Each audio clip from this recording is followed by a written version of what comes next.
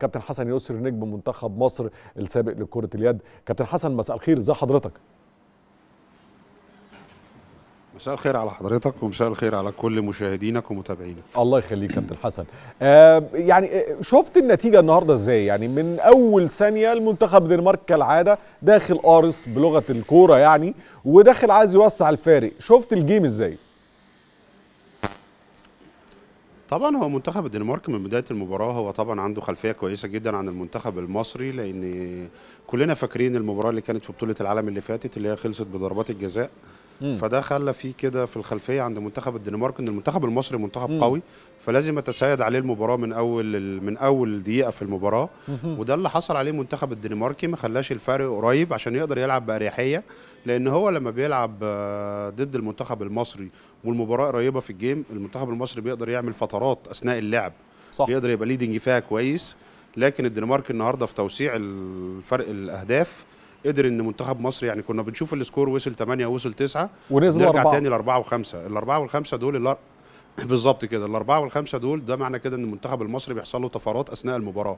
لكن مم. هو كان عنده زي ما بنقول كده في ال pocket بتاعه كان عنده آه، حصيلة كويسة اللي هي فرق سبع ثمان أهداف ممشيينه بأريحية.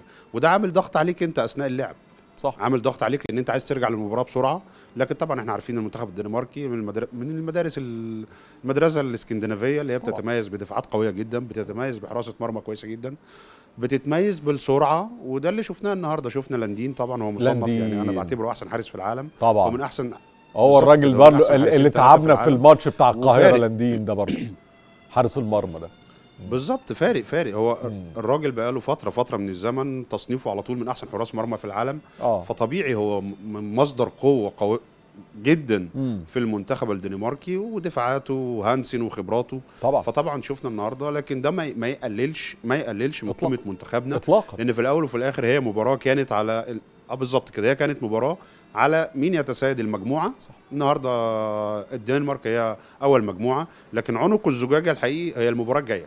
أيوه مباراة هل السويد. هل حضرتك إحنا مع مع فيه وجهة. النظر أنا أنا قبل ما أدخل الاستوديو سمعت يا كابتن حسن وجهة نظر يعني في أحد الأستوديوهات التحليلية إن آه، قد يكون آه، لقائنا مع السويد هيبقى أفضل من إن إحنا كنا طلعنا أول مجموعة ونروح نقابل المجر آه، وحضرتك طبعا أدرى مني بده هل هل ده فعلا ممكن ده ده فعلا أحسن لينا والسويد هي صاحبة الأرض وال- لا ما. أعتقدش إن ده أحسن لا لا لا لا خالص. أنا كنت أتمنى إن إحنا نبعد عن السويد مم. لأن السويد هي آه، صاحبة الأرض.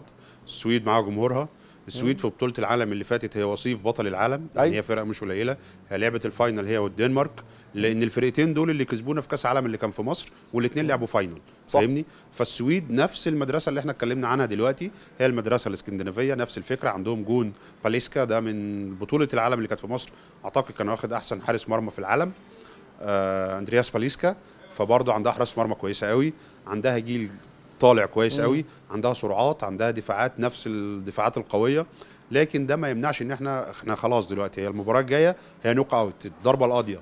فاحنا طبعا منتخب السويد ربنا يكرمنا إن شاء الله ونحضر كويس ونشتغل على نفسنا الله. كويس ونذاكر السويد كويس علشان نقدر نوصل لدور دور إن شاء الله دور الأربعة ونبتدي يعني نحقق الإنجاز اللي مصر كلها مستنياه مصر كلها مستنياه كجمهور طبعاً، مصر مستنياه. كاتحاد مصر مستنياه كإحنا لعيبة سابقين مشجعين كلنا مستنيين نفرح آه إن شاء الله يا رب, يا رب. أنا بقول للشباب لعيبه المنتخب اللي هم أصحابي وإخواتي وحبايبي بقول لهم إن شاء الله أنتوا الموضوع في ايديكم مزيد بس من التركيز لأن إحنا لو حسبنا مباراة النهارده مع الدنمارك إحنا خسرانين كتير في المواجهات المباشرة مع الحارس. لاندين صد كتير. أيوه. لو ما كانش لاندين صد كمية التصديات دي لا الماتش كان بقى في الملعب.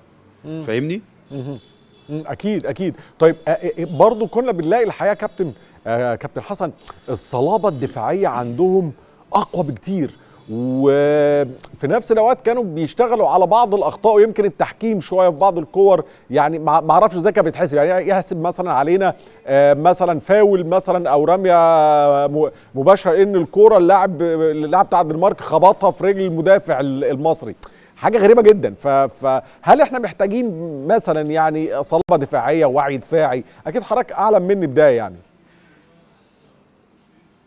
بص أقول لحضرتك حاجة هو أصلا فرقة الدنمارك زي فرقة السويد زي فرقة النرويج الفرقة دي بتنزل في حاجة اسمها سيمترية في الأداء بتلاقي الستة اللي بيدافعوا مم. بيدافعوا بنفس الطريقة بنفس درجة العنف بنفس بنفس آه. بنفس فده فرض على الحكم إنه يفهم إن ده أسلوب لعب فاهمني فهو مش هيقدر. يطرد الستة هو فاهم إن أسلوب اللعب ده قوي فيبتدي يتعامل معاك على كده عكس ما يبقى لعيب واحد مثلا هو اللي بيخبط أو هو اللي بيضرب هنا الحكم بيقدر يصطاده آه. لأن هو باين إن هو أوفر شوية عن هم فعلا. يا كابتن على حضرتك كانوا بيعملوا ستاره سم- يعني لما كان يدخل مثلا زين أو يدخل بالظبط. غيره ب- بتلاقي ثلاثة عاملين ستارة على ال على ال على اللاعب المصري يعني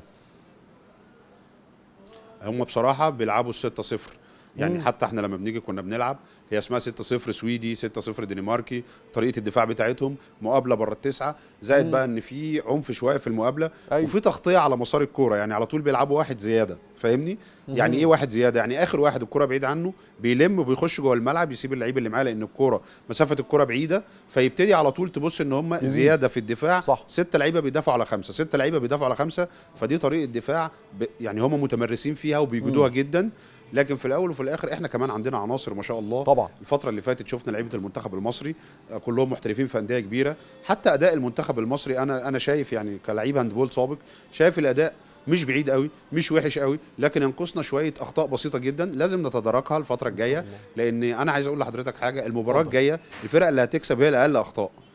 أيوه. الفرق اللي هتكسب صحيح. مباراة السويد ومباراة مصر هي الفريق اللي أقل أخطاء هو الفريق اللي مذاكر كويس هو الفريق اللي نازل عارف مفاتيح اللعب بتاعت كل فرقة ومقفلها والفريق اللي هيبتكر مفاتيح لعب مفاجأة للفريق المنافس أكيد. فأعتقد إن إحنا الفترة دي أنا يعني أعتقد إن مدرب المنتخب المصري مدير فني على دراية. بكل الكلام ده مم. هيشتغل كويس قوي لأن إحنا باروندو طبعا مم. يعني مباراة تستحق إن من دلوقتي لحد ما تيجي المباراة نقعد نذاكر كويس جدا جدا جدا. جدا لأن هي تنقلنا نقلة تانية. وعايز أقول لحضرتك إن إحنا نستحق بالجيل اللي موجود ده باللعيبة اللي موجودة دي تستحق إن هي تكون في مكانه هاندبول كويسة جدا على مستوى العالم لأن نفس هي هي اللعيبة بتلعب في أندية كبيرة جدا جدا جدا طبعا. دلوقتي برضو على مستوى العالم. طبعا. كل التوفيق وقلوبنا ودعواتنا ليهم وإن شاء الله يفرحونا زي برضو أنتوا كمان ما فرحتونا يعني يا كابتن حسن يعني. شكرا جزيلا كابتن حسن يسر نجم منتخب مصر الأسبق لكرة اليد.